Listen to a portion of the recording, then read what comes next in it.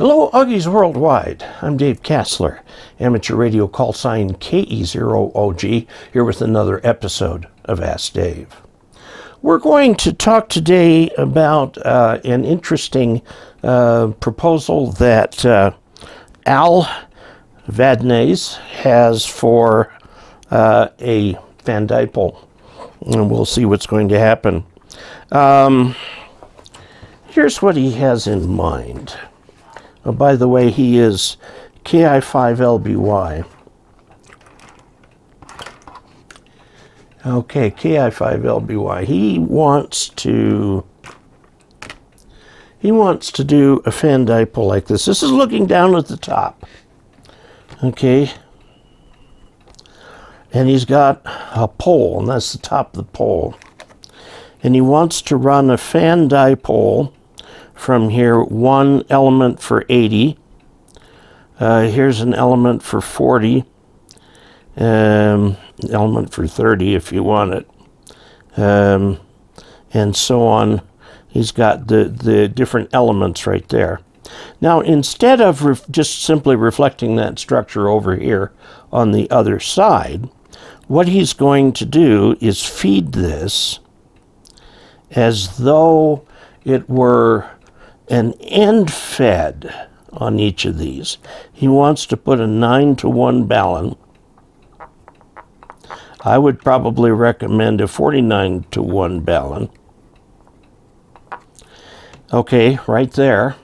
So now we're talking about end fed. And the thing is, now this changes this. This cannot be a quarter wave like you would uh, normally think. This needs to be an entire dipole. Okay? An entire dipole. So that means for 80 meters, it's going to be 40 meters or 132 feet long for that. It's an end-fed dipole. These are end-fed dipoles also. 49 to 1 balun. And then you he wants to put uh, a counterpoise here that's uh, quarter wave for whatever, and then run the coax from that. Well, the counterpoise may or may not be necessary. Uh, you can try it without it. You can put it there if it will work. This is your coax. Okay, here are your end-fed dipoles. All right. Now, you would be, I think, a lot better off. You can do this. Would it work? Probably. Probably. Okay. You'd have a lot of trimming to do and a lot of testing and everything like that. Since you're doing an end fed dipole, why not just skip these?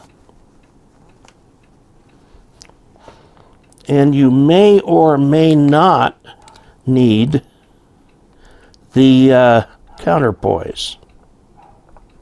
And you have an end-fed uh, half-wave dipole on 80 meters. You can do this at 40 if you want. It'd be 66 feet long. Okay, and that'll give you, this would give you 40 and up, this would give you 80 and up.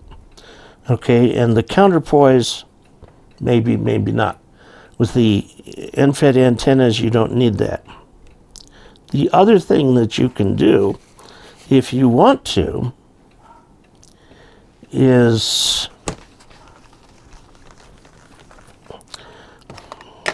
run a um, just a simple fan dipole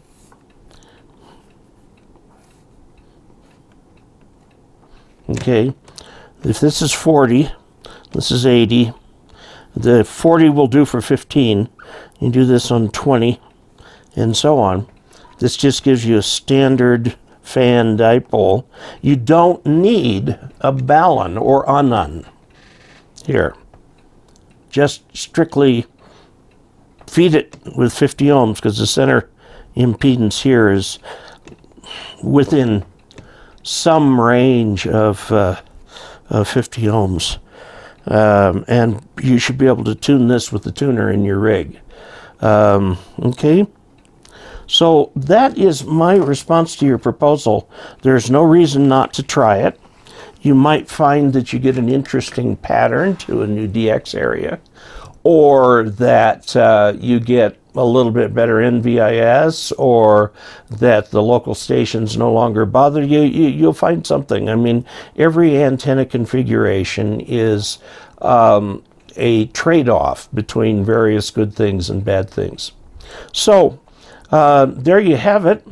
If you uh, would please subscribe, that helps the channel quite a bit actually. All you have to do is just click subscribe. It doesn't create any obligation on your part, uh, but it does help uh, the channel uh, and shows YouTube that the channel is of enough interest to you to click that uh, subscribe. Also click like.